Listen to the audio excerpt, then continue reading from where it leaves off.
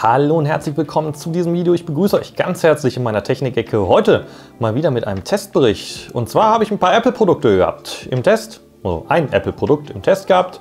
Das waren die AirPods 3 mit dem MagSafe Charging Case und wie die sich im Test geschlagen haben, erfährst du in diesem Video. Nach dem Intro geht's los. Viel Spaß!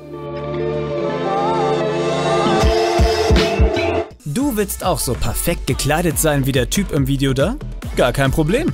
Geh einfach auf onyourears.com und bestelle dieses oder viele weitere Oberteile für Frauen, Männer oder alle anderen Geschlechter.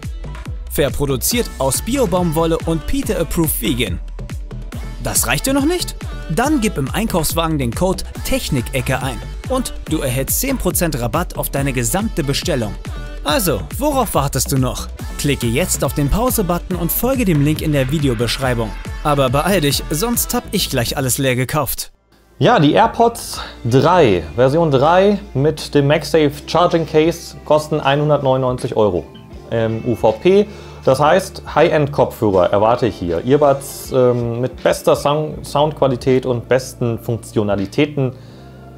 Und vielleicht schon mal so viel vorweg, die sind nicht für alle geeignet. Aber fangen wir wie immer an mit der Akkulaufzeit. Wir haben eine Akkulaufzeit von 30 Stunden mit dem Ladecase und 6 Stunden äh, Wiedergabezeit bei den Earbuds. Das ist auf jeden Fall mehr als beim Vorgänger, allerdings immer noch im unteren Mittelfeld, zumindest was die Wiedergabezeit angeht. Ähm, die maximale Akkulaufzeit ist da schon ganz gut. Ähm, wenn man natürlich 3D-Audio aktiviert, und das haben die ähm, neuen AirPods 3 an Bord, dann verringert sich die Akkulaufzeit nochmal auf äh, maximal 5 Stunden. Es ist dann eher ein bisschen weniger.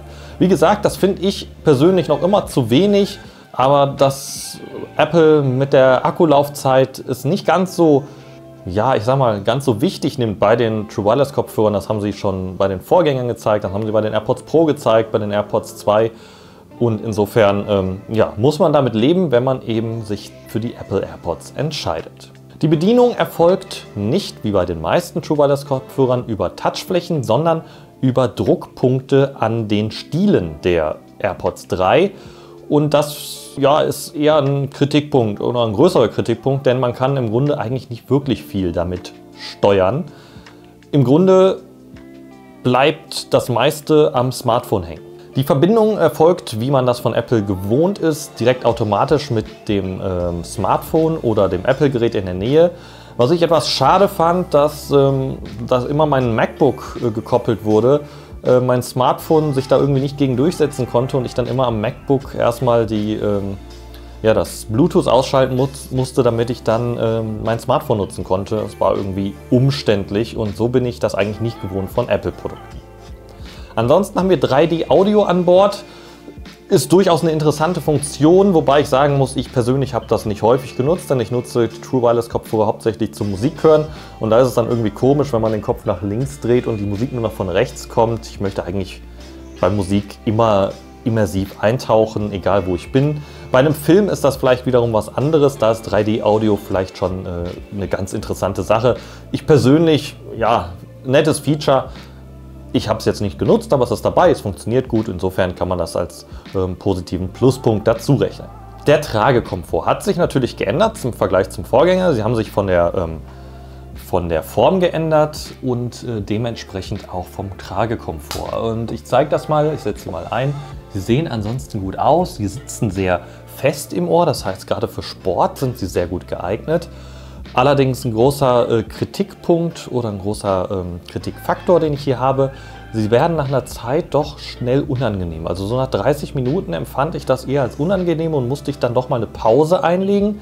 Das bin ich von Earbuds nicht gewohnt. Das kommt auf jeden Fall, denke ich mal, von dieser neuen Form, die man jetzt eben inspiriert ist von den AirPods Pro. Das ist dann irgendwie ja nicht optimal gelaufen. Da hätte ich mir doch irgendwie mehr gewünscht. Das ist vielleicht auch ähm, eine persönliche Einschätzung. Sicherlich wird es den einen oder anderen geben, der sagt, bei mir sitzen die super und ich kann die stundenlang tragen. Ich konnte das nicht.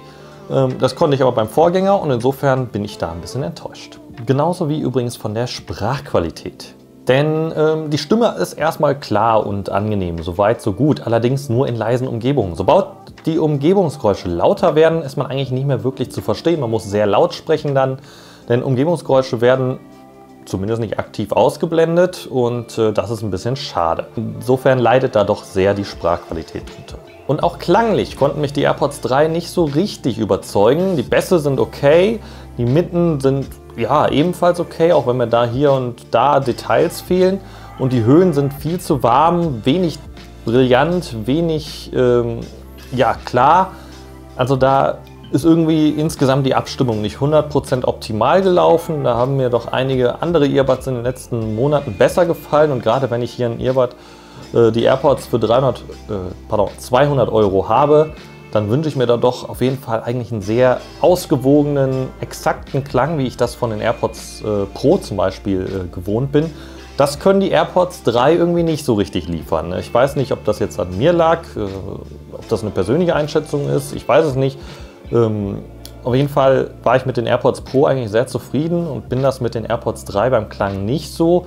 Und insofern, ähm, das ist okay, der Klang ist okay und um die 100 Euro würde ich sagen, ist ein guter Klang, aber wir sind hier eben bei 200 Euro und da spielt der Preis nun mal mit. Ja, man zahlt für Apple mit, ähm, aber in dem Fall ist es nicht gerechtfertigt. Und das ist auch das Fazit von dem ganzen Kopfhörer, von den AirPods 3. Insgesamt meiner Meinung nach zu überteuert. Ähm, die Funktionalität ist nicht äh, weit genug, läuft nicht weit genug, nur 3D-Audio, kein Transparenzmodus. Wir haben äh, eben nicht alle Funktionen, die wir mit dem Earbud selbst ausführen können. Und dann gibt es hier und da einfach Kleinigkeiten, die mich doch stören und die bei 200 Euro nicht sein müssen. Und insofern kann ich aktuell keine Empfehlung für die AirPods 3 aussprechen. Zumindest nicht zum Originalpreis ähm, und auch nicht für Menschen, die kein iPhone besitzen. Für die schon mal gar nicht. Das war's von mir. Ich hoffe, euch hat das Video gefallen und ein bisschen weitergeholfen. Wenn ja, dann lasst gerne einen Daumen hoch da und abonniert die Glocke. Und dann sehen wir uns beim nächsten Video wieder. Euer Julian aus Julians Technik-Ecke. Ciao.